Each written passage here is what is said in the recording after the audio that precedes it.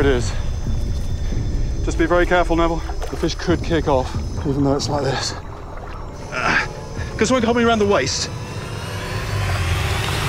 It's an unbelievably muscular animal, built for speed and power.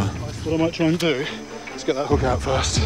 And there's its signature weapon that enormous mouth.